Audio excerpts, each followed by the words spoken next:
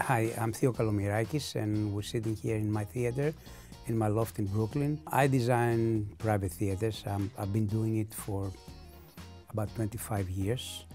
I started, uh, strangely enough, at Forbes. I was, uh, was working for Forbes as an art director of uh, American Heritage, and that's where the home theater bug hit me. I did a theater for myself in a house that was not very far from here. It's like two blocks away.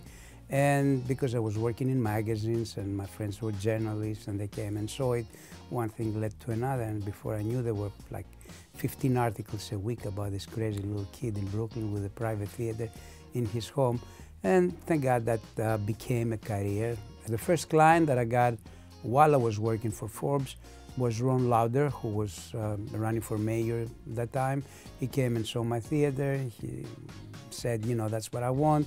I did the first one. I got a little less uptight about doing it again. I was afraid the roof would collapse and kill people, but it didn't. So I got the second one, and then I got, you know, the nerve to do the third, and then it became, uh, you know, I, I quit my job at Forbes to start my company. That was 1990, 1990.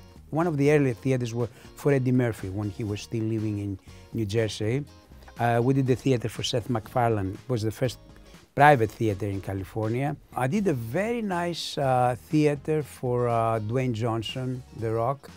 Another project in, in Corona del Mar, which was built to reflect the town that the client grew up in Illinois uh, in 1940 with um, a jewelry store where he, hid, he put all the jewelry uh, for his wife. So you would walk down the main street, Main Street USA 1942, and you experience items that kind of resonated his childhood.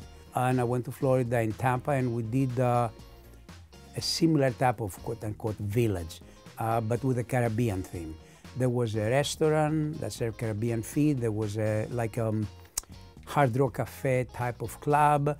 Uh, there was an ice cream parlor for the all the street scenes uh, a bookstore. He has a collection of books. So he kind of, we kind of collected his normal activities. We didn't do something that he would never use.